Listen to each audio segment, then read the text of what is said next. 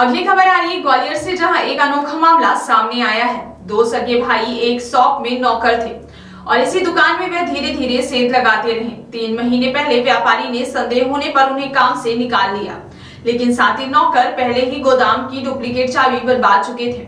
इसके बाद वह हर दिन 10 से पंद्रह हज़ार रूपए का पेंट व हार्डवेयर का सामान गोदाम से चोरी करने लगी। व्यापारी परेशान था। जब उसने गोदाम में लगी सीसीटीवी खंगाले तो उसके पुराने नौकरों के फुटेज मिले।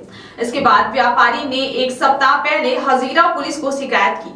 लेकिन पुलिस ने मामला दर्ज नहीं किया। 20 से 25 चक्कर काटने के बाद भी पुलिस जब मामला दर्ज नहीं कर रही तो चैम्बर ऑफ़ कॉमर्स के पदाधिकारी ने एसएसपी ग्वालियर से बात की। इसके बाद शुक्रवार को मामला दर्ज किया गया और दोनों आरोपियों को गिरफ़्तार किया गया है। चोर तीन महीने में चार लाख से ज़्यादा का माल चोरी कर चुके हैं। शहर के हजीरा स्थित न्यू कॉलोनी नंबर दो निवासी संजय सोनी व्यवसायी हैं।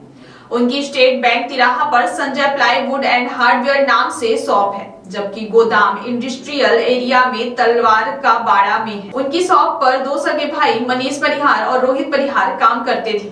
दोनों ने करीब एक साल तक दुकान पर काम किया। इस दौरान दुकान से हर दिन कुछ न कुछ सामान गायब हो जाता था। उनकी गतिविधियाँ संदिग्ध लगी तो व्यापारी संजय सोनी ने तीन महीने पहले उन्हें काम से निकाल दिया है। पर दोनों लड़के काफ़ी सातिब थे। उन्होंने जाने से पहले गोदाम की चाबी की डुप्लीकेट चाबी बनवा ली थी। व्यापारी को लगा कि मनीष और रोहित को नौकरी से हटाने के बाद हालात सुधरेंगे।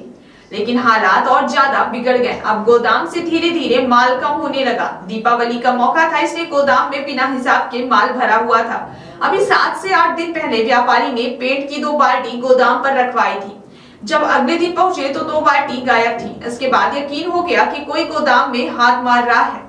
जब व्यापारी संजय सोनी ने गोदाम में लगे सीसीटीवी कैमरे की फुटेज चेक की तो उसमें दो से तीन दिन की फुटेज में मनीष और रोहित गोदाम से सामान चोरी करते हुए दिख रहे हैं।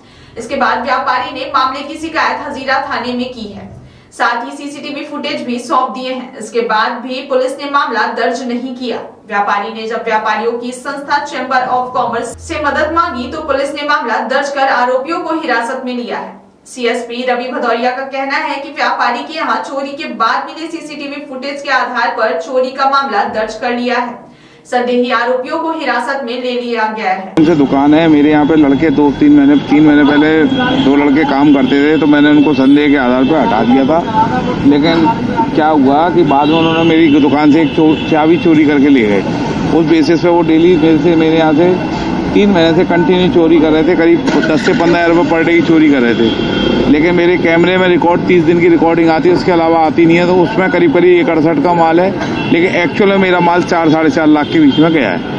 इस घटना में एफआईआर की गई और आज दो आरोपी उसमें राउंड अप किए गए उनसे पूछताछ की जा रही है।